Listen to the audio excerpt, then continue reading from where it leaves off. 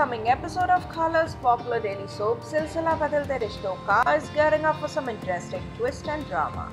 Kunal manhandles pregnant Mauli. Yamini slaps Kunal.